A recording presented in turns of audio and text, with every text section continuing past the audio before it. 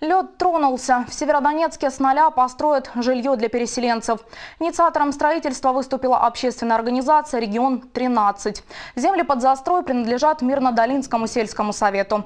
Главное – получить разрешение местных депутатов. Сейчас в Северодонецке зарегистрировано 70 тысяч временно перемещенных лиц.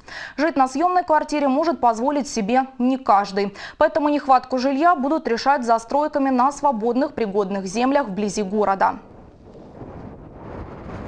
Была встреча э, непосредственно уже в Мирной до- долине, куда мы уже обратились от громадской организации с письмом о просьбе рассмотреть вопрос о том, чтобы а, мы стали членами громады Мирной долины, и у нас появился свой кусочек земли для того, чтобы мы могли решать проблемы переселенцев, Северодонецк является анклавом Мирной долины, то есть он полностью окружен землями Мирно-Долинского поселкового совета.